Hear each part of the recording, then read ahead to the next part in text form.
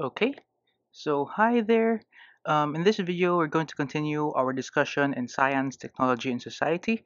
And specifically, we're going to talk about the antecedents in the Middle Ages. Okay, so we're now in, here in the Middle Ages. We're done with the ancient times. And let's start.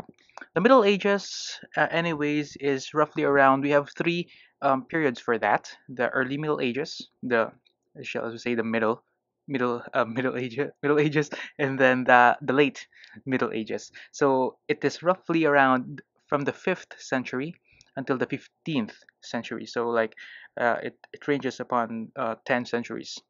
Okay so this is where the major advances in scientific and technological development took place. Okay and one of uh, we're just going to tackle about um, very briefly about um, five of them but um, not to limit yourselves in more than um, what is discussed here okay? So there there's more than what is being discussed here. So we're just going to choose um, five or six. And one of these antecedents in the middle ages is the heavy plow. So the heavy plow um, from the words of professor thomas Barnebeck andersen who is a professor in the university of southern denmark who is one of those who um, researched about this heavy plow history in the in Europe.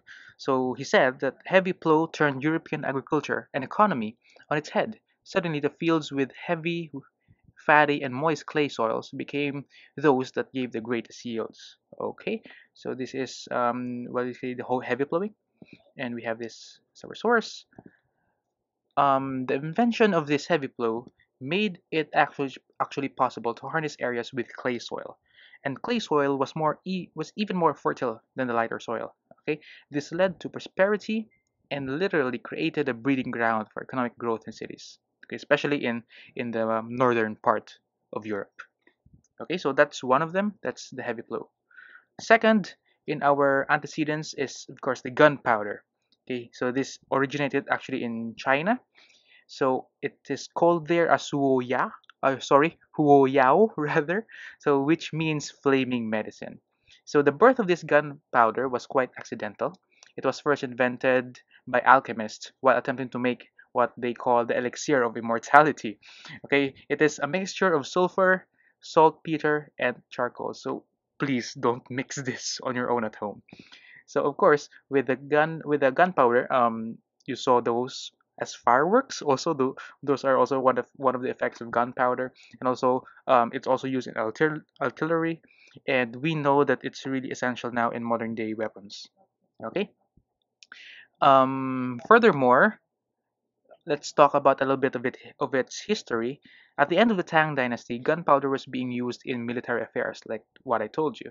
And during the Song and Yuan dynasties frequent frequent wars spurred the development of cannons fire arrows fire arrows shot from bamboo tubes okay and this is one of those cannons when it reached Europe Okay, so eventually it, it, it reached Europe, of course. Next up in our antecedents is paper money.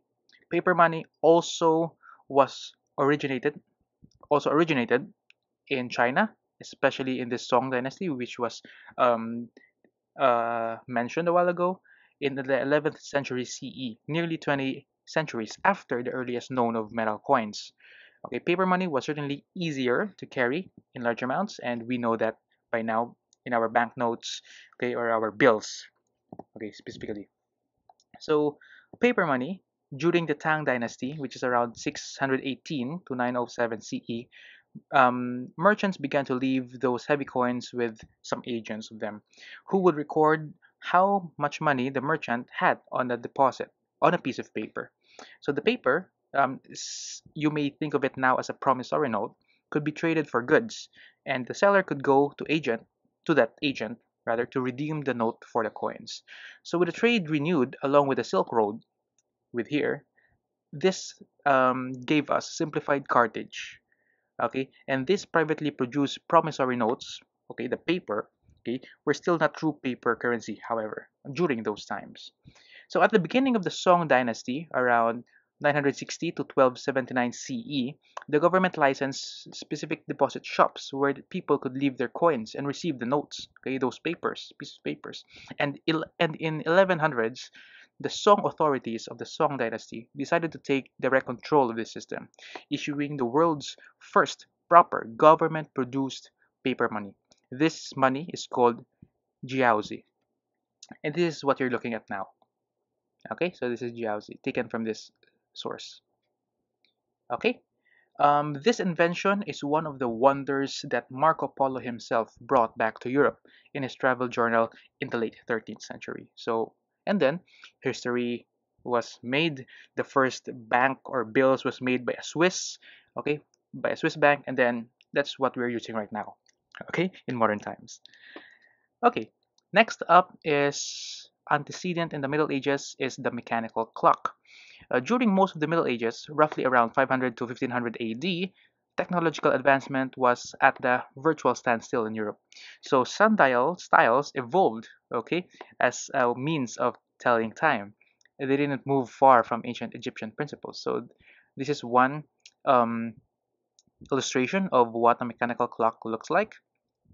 Okay, and in the early to mid 14th century, large mechanical clocks began to appear in the towers of several Italian cities. There's no record of any working models preceding these clocks uh, that were rate driven and were re regulated by Virgin fol Foliot escapements.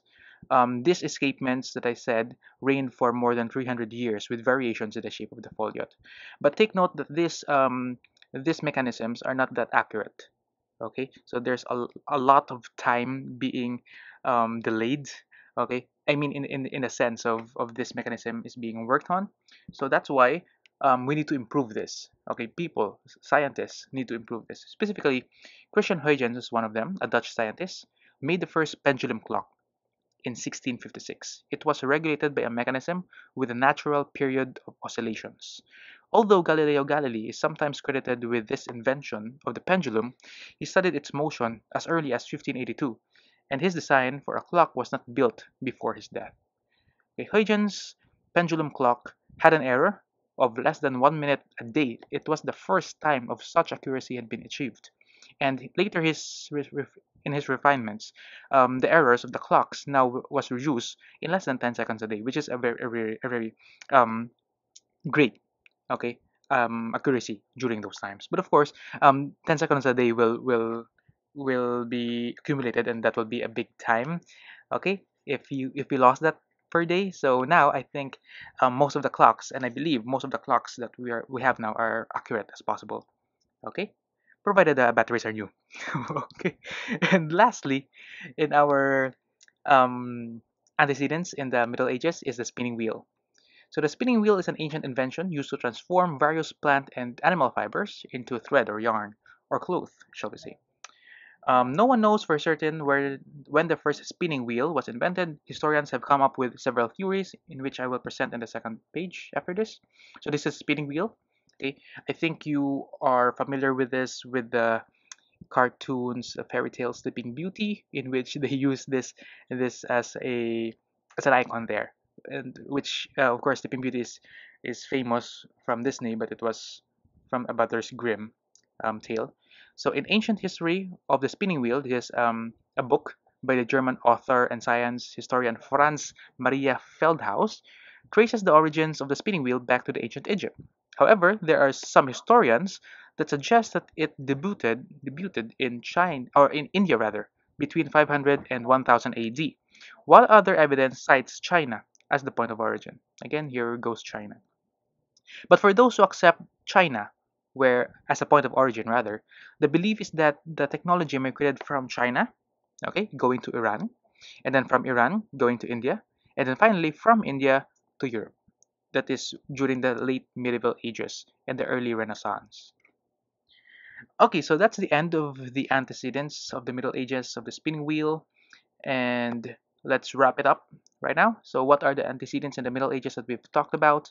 First off is the heavy plow okay which originated in the northern northern Europe and then southern Europe and then which which um, made the land um, easier to grow plants with.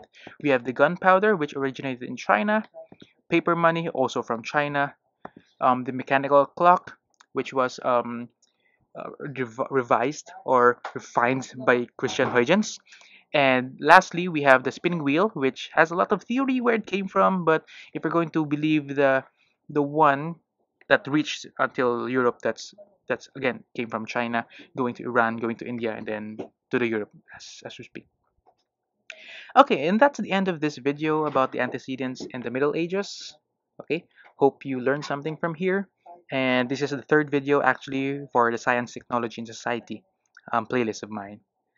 Okay, so thank you so much for watching. Don't forget to like and subscribe this to my channel and like this video. Um, I'll be making more of this. Okay, so um, please subscribe so that you will be updated with the latest content. Okay, so thank you so much for watching and see you soon. Bye.